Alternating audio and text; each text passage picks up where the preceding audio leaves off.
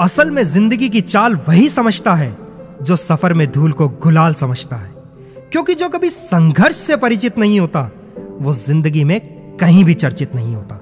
आदरणीय, श्री श्री गोपाल जी दरगढ़, श्री महेश सेवा समिति का यह सफ़र अब गौरव शिखर की यात्रा पर था।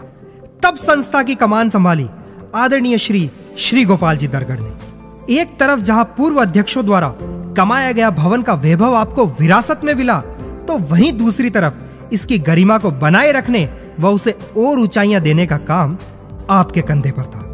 पर जब जिम्मेदारियाँ बड़ी होती है, तभी ऐतिहासिक कहानियाँ गड़ी होती है। आपने समय के बदलाव को भापते हुए भवन नवीनीकरण और आधुनिकरण पर पुरजोर काम किया।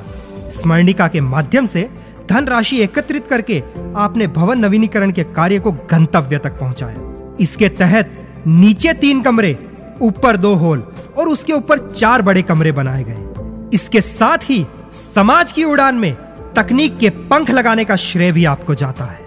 आपने नीचे के एक कमरे में समाज बंधुओं के लिए कंप्यूटर की जानकारी एवं प्रशिक्षण हेतु महेश व्यवसाय प्रशिक्षण केंद्र की शुरुआत की। आपके कार्यकाल में समाज बंधुओं के बेहतर स्वास्थ्य के लिए स्वास्थ्य जाँच शिविर का आयोजन भी किया गया। संस्कारी बच्चे उज्जवल समाज की नींव है। इसके लिए आपने बाल संस्कार शिविर का आयोजन भी करवाया। सामाजिक नियमों की अनुपालना में सुगमता हो व सामाजिक समरसता बनी रहे। इसके लिए आपने कुछ नए नियम बनाए व कुछ को सरल रूप से पुनः लिपिबद्ध किया। सामाजिक आयोजनों में अधिक से अधिक समाज बंधुओं की सहभागिता हो, इसके लिए आपके कार्यकाल में अथक प्रयास किए गए। और उन प्रयासों का फल आपको समाज बंधुओं की हर कार्यक्रम में बढ़ती उपस्थिति के रूप में मिला। यह आपके ही कार्यकाल की देन है। कि काफ़ी समय से विलंबित चल रही धारा 80 जी को सरकार का अनुमोदन मिला।